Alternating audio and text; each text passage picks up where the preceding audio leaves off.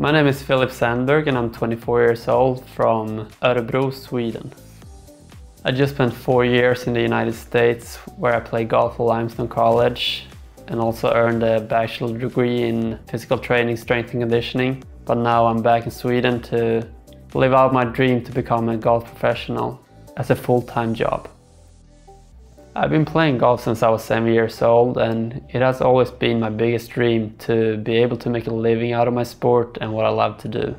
One of my major goals in golf is to make it to the PGA Tour and I'm planning on doing that through the European Tour.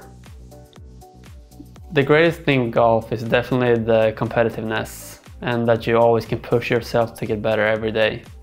As a golfer, you can always control your own success by the amount of hours and work you put in, and it's all up to you how good you want to be.